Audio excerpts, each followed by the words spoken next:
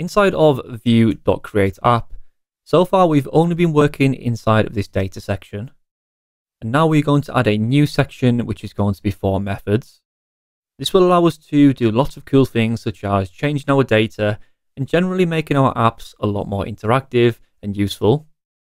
If you are familiar with functions in JavaScript, methods do the same thing, but instead they have the name method because they are part of this object. Whereas our data section was set up as a function, our methods are set up as an object because we're going to call them manually.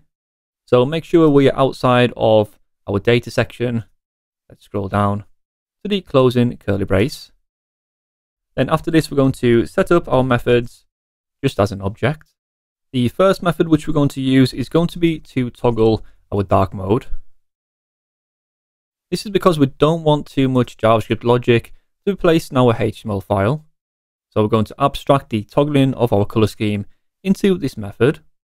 So let's cut this out and paste this inside of our method. And then we need to change dark mode set to be this dot dark mode set. The reason we're using this, this keyword is because both the data section and also the method section is part of what is called the options API. These sections, amongst others which we'll look at soon, have access to each other's properties by using the this keyword. So for example, our methods can access anything from the data section as long as we use the this keyword.